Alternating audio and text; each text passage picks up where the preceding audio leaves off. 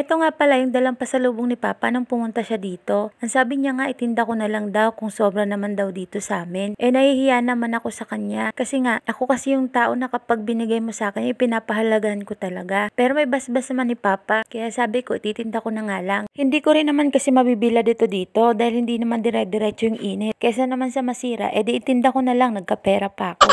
Kaya ngayon, businesswoman po muna ako for today's video.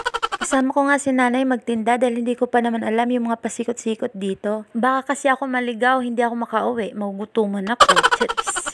May nakasalubong nga kaming aso, sabi ko wag mo akong susubukan kagatin, ma-high blood ka. Ay naku mga kanjami, ina mo yung paa ko. Kala siguro, pata.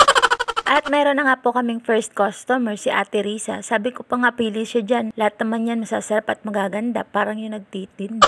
Pagabot niya nga po ng bayad ay bumili pa siya ng isa. Sabi niya pang ulam daw ng mga alaga niya. Sana all katulad niya Teresa mapagmahal sa alaga. Ito nga po si nanay ginagawa yung magic nating mga Pinoy. Yung ipay pa yung unang benta. At etong si Ate Loren nga po ay tinawag-tawag pa namin sa bahay niya. Galit tuloy sa amin yung aso niya. Nakasalubong nga rin namin sa daan si Auntie Shirley. Pero sabi niya nasa bahay daw yung pambayad niya. Sabi ko naman ay sasamahan na lang namin siya para hindi na siya mapagod. Nakita nga rin namin itong napakit na baby nurse Smiley kaso nga lang nakasimango. Wala ata siya sa mood. Wala rin nga po ata sa mood yung nanay. Hindi rin kasi siya makapili. Kalaunan sabi niya na lang, eto na nga lang, pare-parehas din naman. Eto namang si ate, kaalis nga lang daw ng asawa niya. Sabi ko naman ay nako, pabalikin natin tapos pakabili, saka ulit natin paalisin. Nakarating na nga kami dito sa may simbahan. Nakala ko nga hanggang dito lang ang hangganan pero meron pa pala mga bahay sa looban. Natuwa naman ako dito kay ate dahil sabi niya nagla-live din siya kasama ang anak niya. Sabi ko, i-promote niya na lang yung page niya.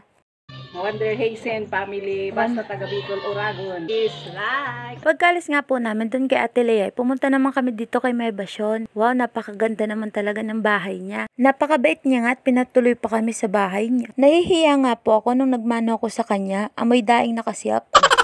Lumapit nga po sa akin, ito nga po niya. Tuwang-tuwa naman ako dahil hindi siya mahiyain sa camera. Paglabas nga namin ay hindi ko nakilala kung sino tong nakapula. Kung hindi nga po ngumiti, hindi ko talaga makikilala. Si Boy lang pala. Dumiretso na nga rin kami dito kay Angie para tanungin kung bibili rin siya ng daing. Kaya tuwang-tuwa ako nung nagtinda kami dahil marami akong nakikilala. At sakto naman pagdaan namin ay siyang pag-uwi nitong si kuya. Buti na lang binili niya yung natitirang isa. Pauwi na nga po kami at nadaan na namin itong si Kuya Jer. Sabi ko nga, Kuya Jer, kaway ka naman po sa vlog ko.